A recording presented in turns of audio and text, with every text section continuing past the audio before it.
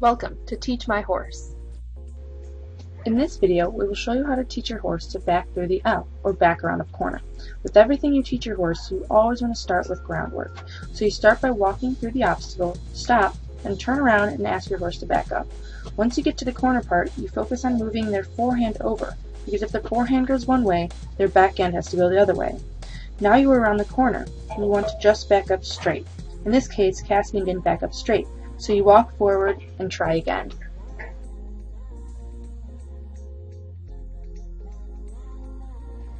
Now time to try it under saddle. Before you try this with poles on the ground, it is good to practice turn on the forehand and turn on the haunches, because you are essentially using a combination of both to turn your horse around the corner. You're going to use the same technique as when you practiced on the ground. You want to bring their forehand to the right by asking with the right rein, and at the same time using your right foot to ask them to push their haunches to the left.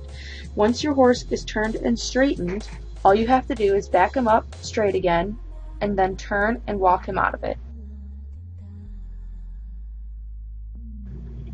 Now you can challenge yourself. Try trotting into it, time yourself, and see how fast you can do it.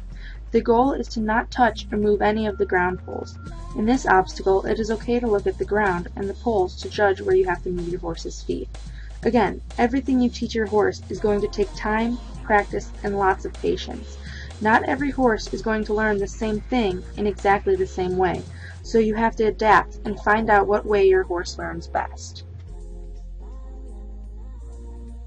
When you try this with your horse, we want you to be very careful. We don't want anyone getting hurt. Be smart and have fun. Leave us a comment on what you think and any advice on how we can improve our videos.